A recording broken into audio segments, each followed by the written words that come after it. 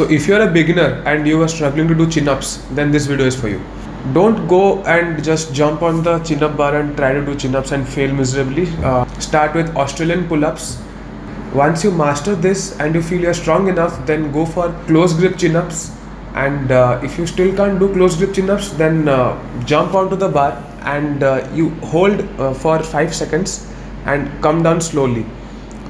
Uh, keep repeating that until you gain more strength until you uh, are able to do normal close grip chin-ups and uh, then it's time for you to switch to wide grip chin-ups. And if you still can't do wide grip chin-ups then uh, i would uh, suggest you to uh, do partial hold uh, chin-ups uh, partial hold uh, close grip chin-ups.